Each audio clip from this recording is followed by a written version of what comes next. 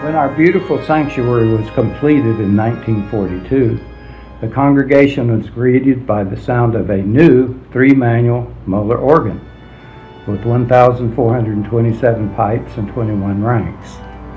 In the many years that followed, the organ provided music that helped us worship, mourn, celebrate, and minister in new ways to the community.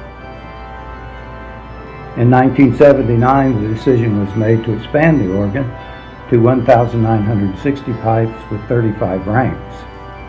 This also included the removal of the masonite wall in front of the organ chamber and the addition of the present screen. After a series of tropical storms that hit Gainesville in 2004 and flooded the church basement floor room, it became obvious that a major rebuilding was needed. Many of the organ components and wiring from the original 1941 installation had deteriorated over the years, although many of the original pipes were in good condition. In the spring of 2005, an organ committee was appointed and they decided to move forward with Berghaus Organ Company of Chicago. The committee understood the bond between this church and its current instrument and they decided to restore this instrument if possible. In August 2006, the organ was removed and refurbished. It was reinstalled in September through November of 2007. This expansion achieved the dreams of our congregation and included 2,241 pipes and 39 ranks. Some of the newest pipes are displayed in the facade you see today. At that time, the committee considered future expansion of the instrument and included space on the console for an antiphonal extension.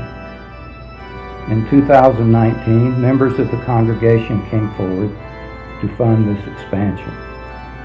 And then the pandemic happened, delaying the project and causing all sorts of supply chain headaches. In November 2020, a contract was signed with the William Longmore and Associates to build and install the antiphonal division.